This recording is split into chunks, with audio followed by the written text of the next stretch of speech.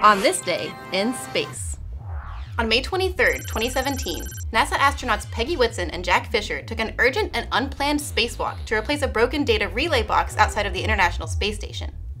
The problematic device, known as a multiplexer demultiplexer, had been installed less than two months earlier during another spacewalk by Peggy Whitson and Shane Kimbrough.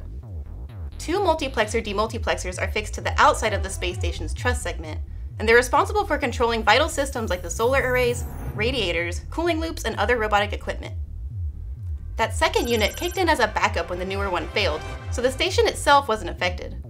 However, NASA had to scramble to install another spare to make sure the space station would be prepared in case the second computer failed as well.